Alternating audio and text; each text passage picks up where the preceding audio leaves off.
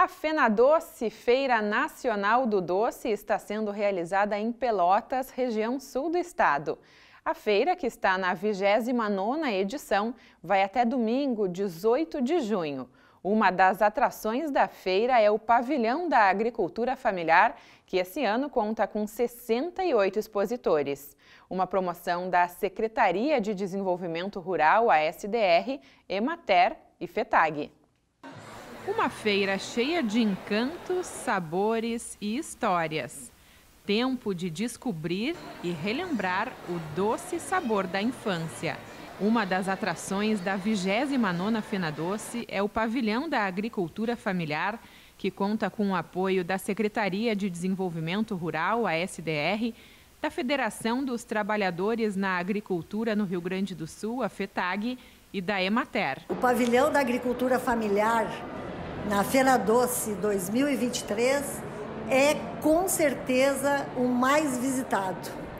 Nós temos aqui este ano 68 agroindústrias e esse trabalho foi todo gerenciado pelo Renato Colgo, que é o nosso engenheiro de alimentos, que vem trabalhando há muitos anos aqui na nossa região para transformar o alimento primário num alimento industrializado e isso faz com que agregue valor ao produto do nosso agricultor e proporciona a ele vender diretamente lá da propriedade para o consumidor final.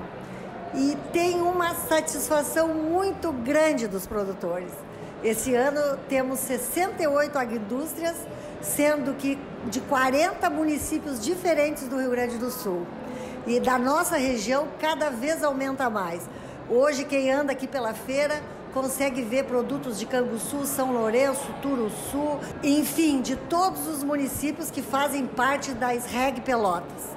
Então, é um trabalho que nós estamos valorizando muito e é uma parceria da SDR, Secretaria de Desenvolvimento Rural, da FETAG e da Emater.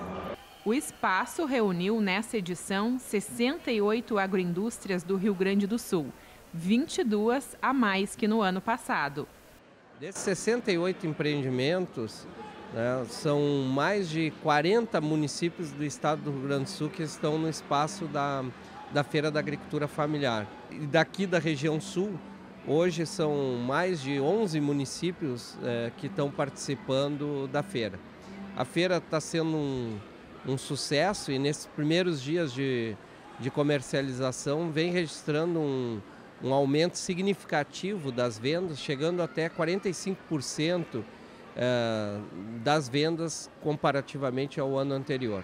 E essa feira está presente em todas as grandes feiras agropecuárias e não diferente aqui é, em Pelotas, na Fena Doce.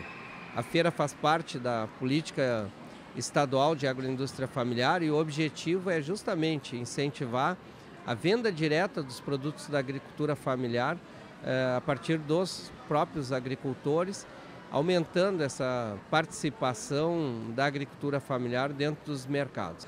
Então é um momento de, claro, de comercialização desses produtos, mas também de, de divulgação, de fazer essa, essa comunicação com o mercado consumidor, que é um dos objetivos que a gente considera importante dessas feiras, como é a Fena Doce. Né? É importante também pontuar essa diversificação. Então, hoje em Pelotas, nós estamos com a participação de 11 das 68 agroindústrias uh, da feira e com uma diversidade bastante significativa de produtos. Né?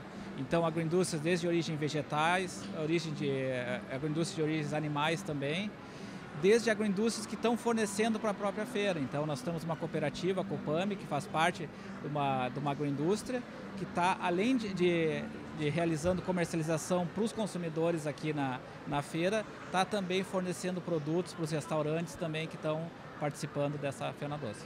Esse produtor de Turuçu participa da feira desde o início. Aquele primeiro ano foi lá em cima, no mezanino, e foi o início, né? Aí foi melhorando, aumentando. Já fazem vários anos mas cada vez foi evoluindo cada vez mais e sempre com o apoio da Emater, que é o mais importante, né? E esse ano trouxeram uma novidade. Este ano a gente produziu a pimenta mais forte do mundo, Carolina Reaper, e a gente tem ela para comercialização aqui na Fena Doce. Ela é da Carolina do Norte. A agroindústria João de Barro de Morro Redondo ganhou dois prêmios no segundo concurso de queijos artesanais e doces de leite do Rio Grande do Sul, com medalha de ouro e prata.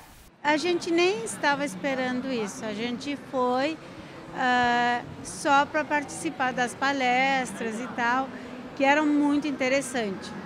Nisso, a gente colocou os nossos produtos para participar ali, onde foi o doce de leite com café, que era com adição, e o doce de leite tradicional, sem conservantes, todos caseiros. A gente nunca imaginou que ia ganhar, né? Então a gente pegou e colocou lá e tal, para participar. Eram 22 agroindústrias de doce de leite, nisso estava nós. Quando chamaram a medalha de. foram dar a participação de medalha de bronze para uma pessoa, chamaram uma agroindústria lá. Aí o meu marido diz assim, nega, acho que a gente não, não ganhou nada, porque a bronze já foi, a gente estava contando com a bronze, né? De repente, gente, vem a medalha de prata. Para quem? A agroindústria João de Barro, de Morro Redondo. Meu Deus do céu, a gente pulou de alegria.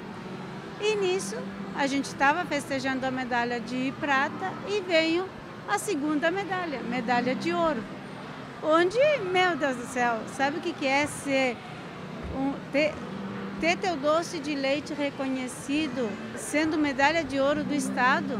Não é qualquer coisa, né? Então, e a gente lutou muito para isso. Todo o reconhecimento uh, da Emater, a ajuda que a Emater nos tem dado é grandiosa para nós, porque sem eles a gente não estaria aqui hoje e não e o nosso produto não teria esse sucesso todo. Pô, provei e olha, nota mil. Muito bom mesmo. Vale a pena conferir.